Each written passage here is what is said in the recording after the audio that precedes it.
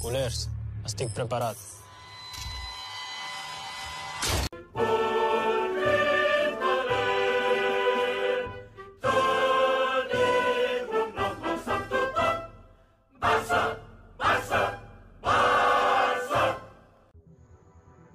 Okay, guys, thank you for joining and welcome back to Barca 360. You welcome back to the channel. So, this is just in Gerard Romero, as once again, after his declarations in the morning stating that Jules Koundé to Barcelona is a 99% done deal, he's saying that Jules Koundé would be a player for the football club. He's now putting point on that story. He's saying that Jules Koundé would be a player for Football Club Barcelona. And then the report goes on to state that Xavi Hernandez was key in that move for Julius Koundé to travel with the Sevilla team to Lagos in Portugal, thereby buying time for Barcelona to negotiate. And, and all throughout yesterday night, Mateu Alemany was in direct talks and communication with Monchi, the sporting director of Sevilla, and then it is getting to a close. It is getting to a conclusion. Julius Koundé would be a player for Football Club Barcelona. Gerard Romero, when it comes to news on Football Club Barcelona, is an expert.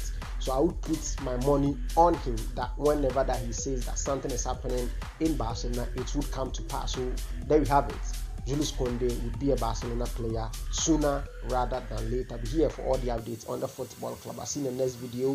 Thank you so much for joining. Kindly do stay safe. Until next time, it's a bye bye.